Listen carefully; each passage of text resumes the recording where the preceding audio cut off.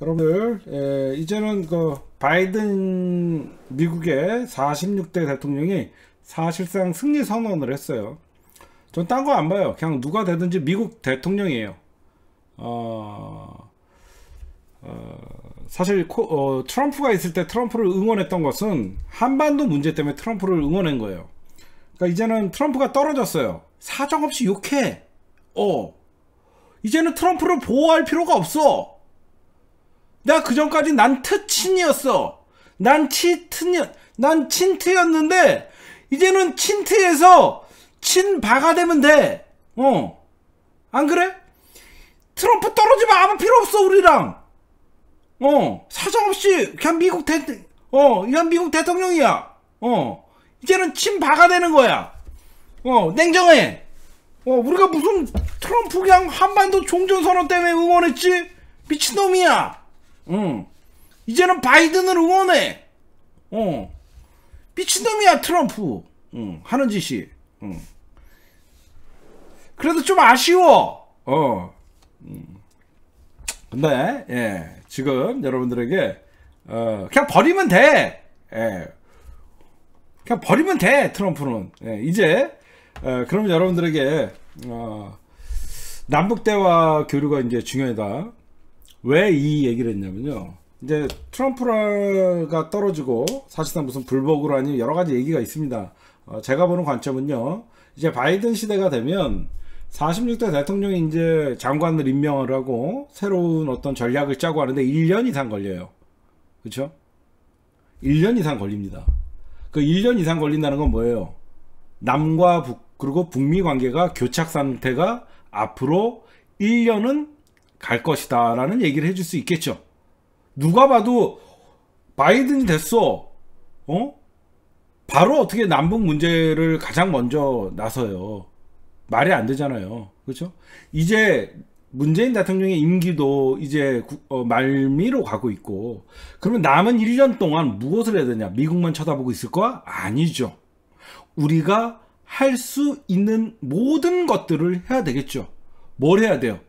남과 북이 이제는 교류와 협력, 적극적인 남북 대화를 추진해서 이제 남과 북이 할 수 있는 것을 뭐든지 먼저 선제적으로 취해 놓고 그 다음에 미국과 함께 같이 나아가고 주변 국가들과 종전 선언을 위해서 갈 수 있다라고 말씀을 드리고 서두에 근데 여러분들 좀 어, 저는요 바이든이 대통령이 됐습니다. 바이든이 대통령이 됐는데 눈에 띄는 사람이 있어요. 저는 아마 바이든보다 어, 캐말라 헤러스가 그 역대 그 어떤 미국의 부통령보다도 주목을 받을 것 같아요. 이분이 이유는 딴 게 아니죠. 64년생이고 어, 이제 50대죠. 50대인데 사실상 바이든은 미국의 최고령 대통령이기 때문에 사실 바이든이 이번에 대통령 된 이유는 미국 역사상 가장 웃긴 투표였어요.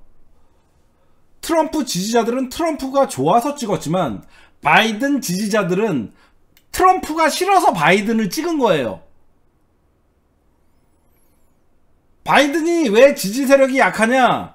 트럼프 싫은 사람들이 바이든을 찍은 거야. 트럼프는 트럼프를 좋아하는 사람이 찍었지만 그러다 보니까 이 선거가 이렇게 진흙탕이 된 거예요. 그러면 제가 말씀드리고 싶은 것은 어, 트럼프는 어, 끝까지 에, 아마 버틸 겁니다. 왜 버티냐? 트럼프에게 걸려있는 14가지의 혐의. 잘못하면 트럼프는 이제 자연인으로 돌아갈 경우에는 다음 정부에서 구속될 위기가 굉장히 크죠. 그럼 트럼프가 할 수 있는 건 뭐죠? 트럼프의 강한 지지자들과 함께 아마 바이든 정부의 사면을 요구할 거예요. 그쵸? 나를 내가 대통령의 자리에서 물러나면 그 무엇도 나에게 정권 안에서 있었던 일에 대해선 책임을 묻지 않겠다라는 바이든 대통령에게 트럼프는 사면을 요구하고 트럼프는 대선 승복을 하고 남, 어, 딜을 할 가능성이 가장 크겠죠. 바이든이, 아니, 트럼프가 마지막 갖고 있는 카드는 그거밖에 없다고. 그쵸? 감옥을 갈 수밖에 없는 처지인데 바이든에게 딜을 해서 어, 그게 가장 저는 에, 크다고 생각하고 아마 이 카멜라 해리슨이 미국에서 최 사실 미국에서 부통령은 그냥 여러분들 알다시피 대통령 부재 시에 갑자기 어? 어, 대통령직을 이어받는 그런 역할인데 어, 실세 부통령이 탄생할 것이다. 벌써부터 여론은 2024년 민주당의 대통령 후보는 해리슨이 될 것이다 라는 얘기들이 차기 대권 후보로 벌써 오르고 있고 어, 바이든이 나이가 너무 많아요. 이거는 미국 얘기였고 그러면 이제부터 여러분들에게 심층 분석. 여러분들이 미국에 다시 이제 어떤 세계의 전략이 이제 미국은 동맹국들과 세계 패권을 다지는 게 미국의 기본적인 전략이었어요. 근데 그거를 트럼프가 깼었죠. 어, 우리가 좀 슬프지만요. 미국의 어떤 전 세계 지배 전략 중에 하나가 뭐냐면 먼저 first는 첫 번째는 중국이에요. 그렇죠? 미국이 최고 견제하는 사람들은 바로 중국입니다. 하위가 바로 대한민국의 남과 북의 문제예요. 우리가 잊으면 안 돼요. 미국은요, 북한의 문제가 어, 동북아시아의 패권 전략에 있어서 대한민국의 남과 북의 문제가 1순위가 되질 않아요. 동북아시아 패권은 무조건 중국과의 싸움 그 이하 하위 문제가 남과 북의 문제였어요. 그렇죠? 그런데 결국은 미중 대결 새로운 변수는 미중 대결을 앞으로 어떻게 풀어나갈 것이냐. 트럼프는 first Ame, American first를 주장하면서 중국을 때리기만 했죠. 그렇죠? 근데 전통적으로 미국과 중국은 뗄래야 뗄 수 없는 경제 교류를 많이 해왔죠. 그럼 우리가 여기서 어떤 시각으로 봐야 되냐? 과거 오바마 정부 때 부통령이었던 바이든이었죠. 그래서 오바마는 전략적 인내를 선택했었어요. 여러분들 오바마 정부에서 전략적 인내를 선택했던 가장 큰 이유는 이명박근혜의 어떤 대한민국의 대통령의 정치적인 의식과 맞물렸던 거예요. 그게 무슨 말이냐면 미국은 어, 전략적 인내라는 말을 쓰면서 사실상 북한을 무시했던 거예요. 그래서 동북아시아에 악을 하나 만들어 놓고 그래서 동북아시아의 군사 대국화를 만들었던 거예요. 중국을 견제하기 위해서 북한을 무시하면서 한미일 공조 체제로 중국에 대항하는 삼각 동맹 체제를 만들기를 가장 원했던 게 미국의 동북아시아 전략이었어요. 근데 사실상 이제는 과거에 북한을 무시하면서 전략적 그때 아 그 얘기를 했죠. 왜 그러면 이명박근혜 정부와 오바마 정부의 코드가 맞았냐?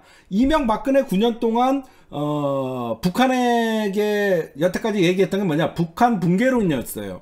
그렇죠? 북한 붕괴론. 북한은 알아서 망할 것이다 라고 하니까 그 어떤 남과 북의 대화 한 번 없이 남과 북의 교류 한 번 없이 있던 교류마저 끊어가면서 오히려 미국은 전략적 인내라고 하면서 북한을 무시하고 우리 대한민국 정부는 북한에게는 어 그 알아서 붕괴할 것이다라고 하면서 냅뒀거든요. 그게 딱 떨어져 맞아갖고 한 미 일 삼각 동맹의 중국 견제의 최고로 목표로 한 거예요. 사실상 이명박근혜 9년 동안은요, 미국의 패권 전략에 들러리를 섰던 거예요. 중국 견제의 하나의 어떤 동맹국가로서의 역할밖에 못했어요. 진짜 중요한 남과 북의 어떤 그 평화 체제나 이런 것들에 대해서는 이명박근혜는 관심이 없다는 걸 누구보다도 미국이 잘 알겠죠. 그러다 보니까 미국도 이명박근혜는 사실상 북한과의 적대적 공생관계로 살고 있는 정부라는 걸 알기 때문에 굳이 평화체제니 종전선언이니 주한미군 어, 전작권 회수라니 이런 것들을 이명박근혜 정부랑 얘기할 필요가 없었어요. 오로지 오로지 그냥 북한을 무시하는 전략. 근데 어, 과거 오바마 정부 때와 그 전략적 어, 인내라는 어, 오바마 정부의 북한의 대북, 대북에 대한 정책이 이제는 바이든 정부에서는 통하지 않는 거죠. 왜 그러냐?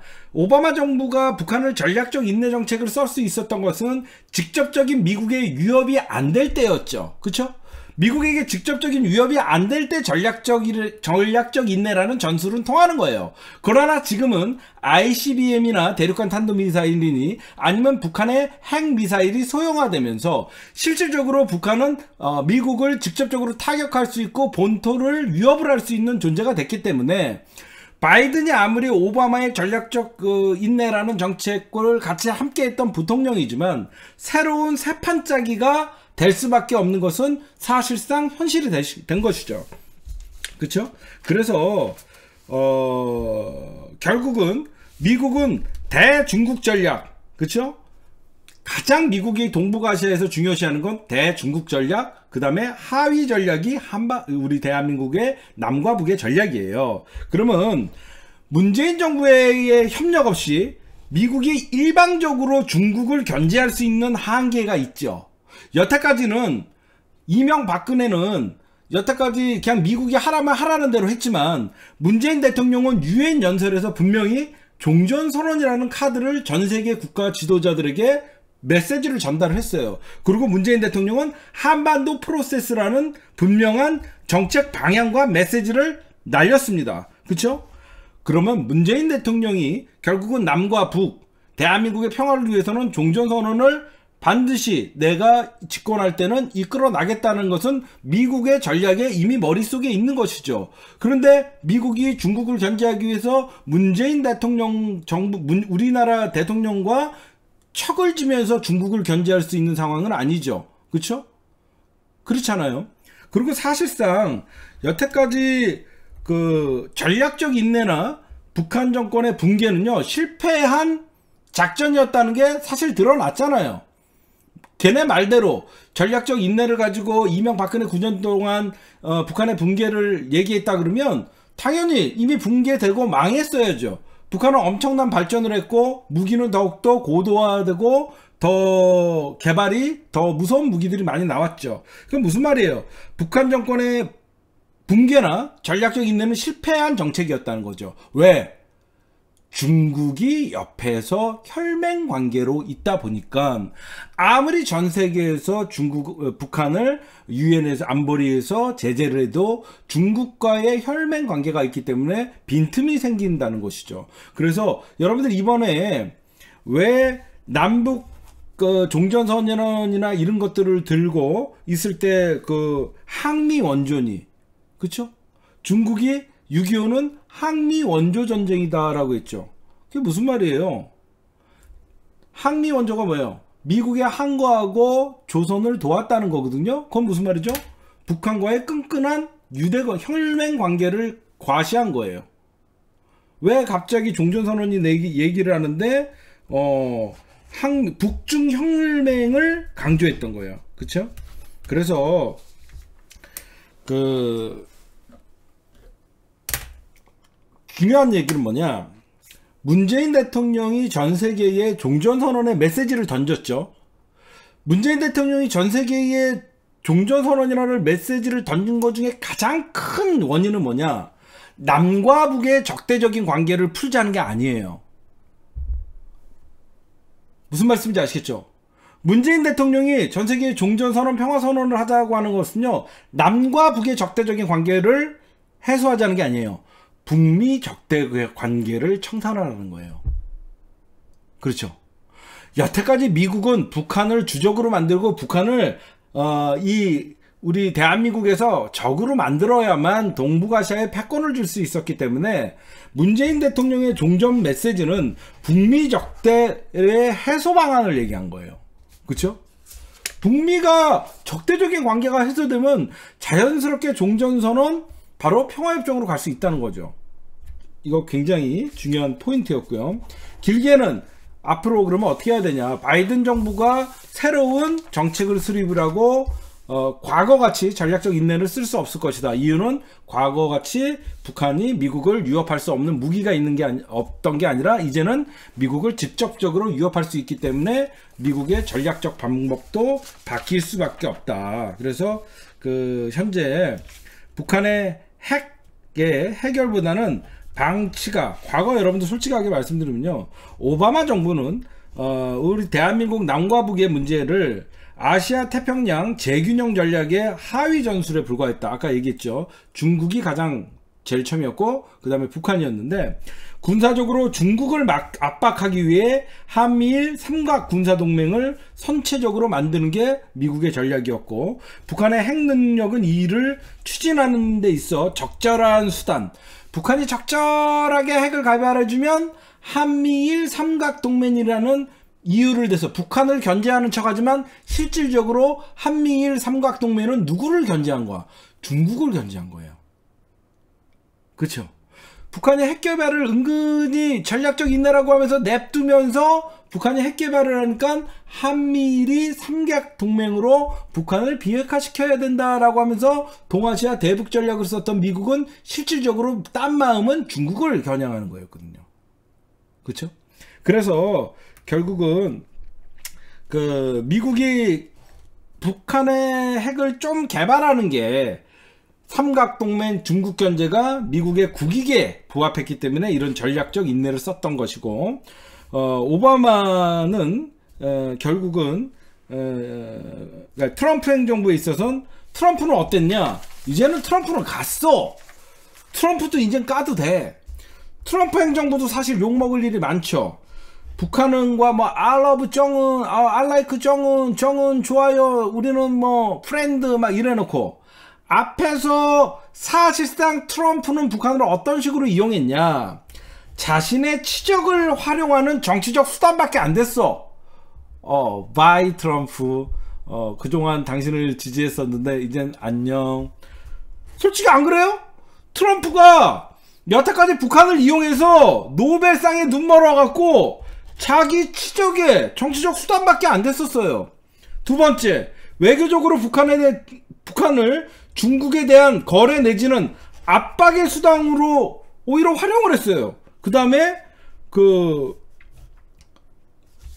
트럼프가 그러면 여태까지 문재인 정부가 잘 지냈고 어 일본과는 좀 소원했죠. 딴 거 아니에요. 일본이 말이 안, 일본이 말을 안, 들, 안 들으면 오히려 우리는 언제든지 대, 대한민국을 선택할 수 있다라고 하면서 무한적으로 일본을 압박한 거예요. 무슨 말인지 아세요? 트럼프가 문재인 대통령이나 대한민국에게 애정이 있어서 문재인 정부를 지지한 게 아니라 일본이 조금만 어긋나면 우리는 언제든지 대한민국 정부를 이용해 저기과 함께 할 수 있다라는 메시지를 주면서 일본을 압박용으로 일본을 협박용으로 우리나라를 이용한 거예요. 그렇기 때문에 사실상 트럼프는 대북 전략에 전략적 목표도 없었어요. 그렇죠? 전략적 목표도 없었어요.